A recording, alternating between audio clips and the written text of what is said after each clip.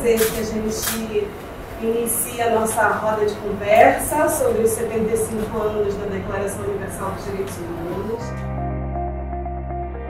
Vou deixar que você quer no começo, você tem que colocar no Twitter, no Instagram, pode colocar, se estiver respeitando as outras pessoas.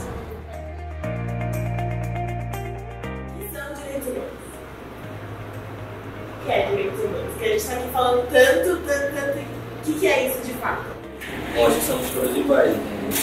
independente do cor, independente dos cores, somos todos iguais.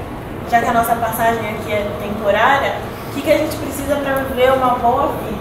Nessa declaração do instrumento, é importante que ela seja divulgada e transformada em um direito.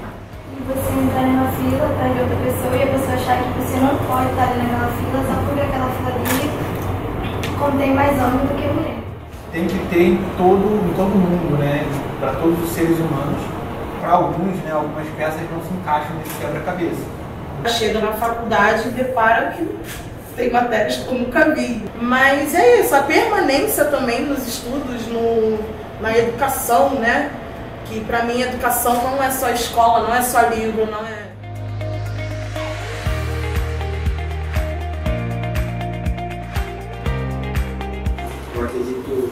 precisa ser usado assim, de juventude brasileira hoje, né, de ocupar esses espaços e de cuidar das nossas próprias narrativas.